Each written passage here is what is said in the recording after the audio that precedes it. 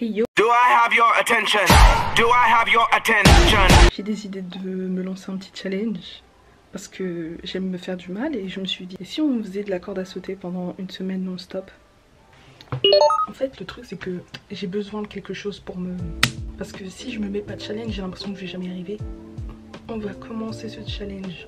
Maintenant je vais aller dehors, je peux faire ça aussi chez moi mais ma daronne squat parce que c'est chez elle.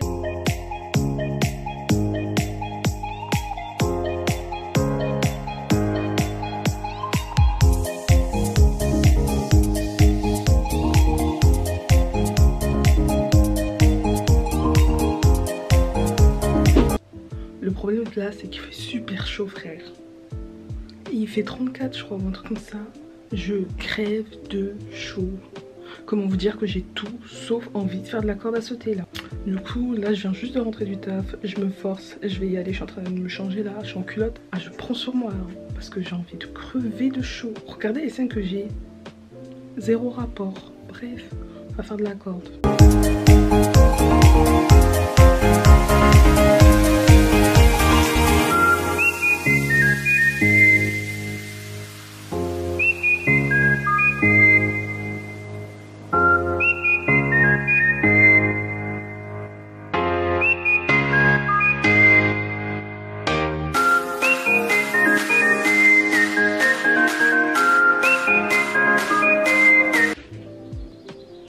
Je cherche à me tuer, j'ai décidé de faire encore 10 minutes de corde à sauter.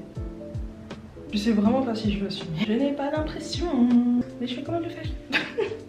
On aime la mort ici. Puis, oh, et puis merde, je vais le faire, je vais pas me justifier.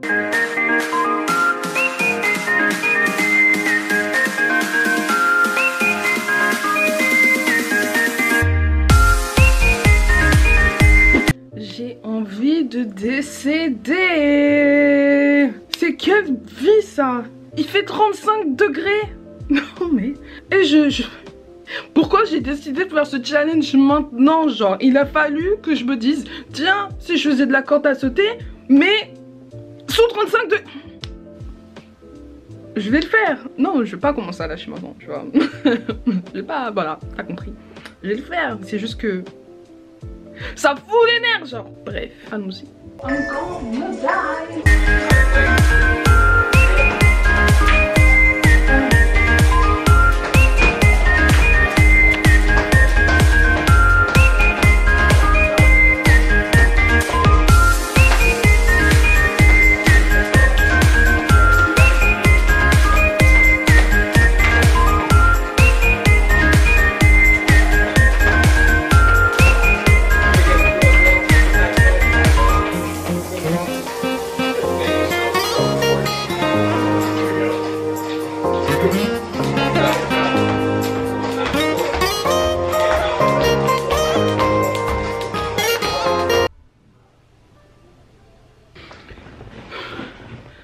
Compliqué hein.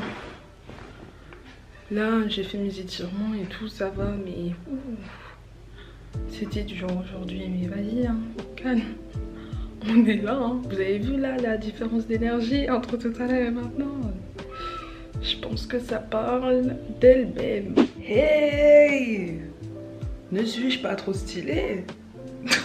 Aujourd'hui si je dis pas de bêtises on est le jour 4 du challenge donc qui dure une semaine donc il serait peut-être temps de s'y mettre. Je vous avoue que là je viens de rentrer du staff. Enfin je viens de rentrer de mon stage et tout et je suis éclatée. Clairement éclatée. Euh, j'ai les cernes ça se voit mais il va falloir que je fasse de la corde à sauter. Donc je me demande si je vais pas faire un truc court mais intense genre histoire de juste bien me crever. Et genre une bonne fois pour toutes. Comme ça, c'est fait, genre, tu vois. Comme ça, on n'en parle plus.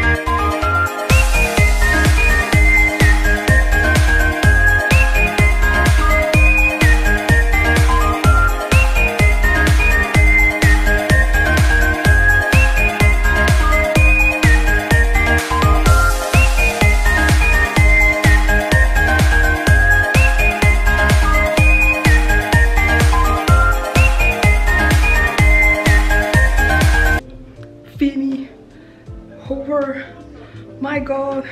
This is the end. That's over, bitches. J'ai terminé. À la revoyure. Bon, je pense que voilà, on va débriefer ensemble de la semaine qui vient de passer tout simplement. Je pense que je vais faire ça un peu en trois étapes en mode comment s'est passée ma semaine et ensuite les côtés positifs de la corde à sauter et les côtés négatifs. Donc globalement ma semaine c'était compliqué pour deux raisons. La première, c'était que je travaillais du coup à côté et que bon, euh, j'avoue que je taffe pas à côté de chez moi, tu vois. Donc en fait, je me tapais les heures ben, de transport et c'est vrai que les heures de transport, ça m'a sommé. Du coup, ben, je rentrais, il fallait que je me motive et tout pour faire euh, de la corde et c'était compliqué quoi. Le deuxième truc aussi, c'est qu'il faisait super chaud. Franchement, c'était abusé la chaleur. Bah, de toute façon, c'était la semaine où il faisait 35-38 et tout. Franchement, je voulais juste crever. C'était archi dur. C'est quelle vie ça Il fait 35 degrés Donc voilà, c'est un peu comme ça que ma semaine corde à sauter s'est passée. Franchement, les côtés positifs de la corde à sauter, premièrement, c'est que c'est cardio. Alors ça par contre, si vous cherchez du cardio, eh ben ça l'est Et en plus d'être cardio, franchement, ça fait taffer tout le corps. La première fois de ma vie que j'ai eu mal, genre là, aux avant-bras. Je pense que euh, c'est vraiment un bon moyen de perdre du poids ou même de se tonifier et tout. Genre en fait ça fait tout, ça te fait perdre, ça te tonifie, enfin bref. La corde à sauter c'est grave cool. Non les côtés négatifs de la corde. Alors la première chose, si vous avez des problèmes aux genoux, si vous avez des problèmes aux chevilles, aux pieds, où vous voulez, oubliez. Faites une croix dessus. C'est plutôt mon côté rageuse qui refait surface, mais que c'est qu'au début, quand t'es débutant, c'est rageant parce que tu rates beaucoup de, bah, de sauts tout simplement.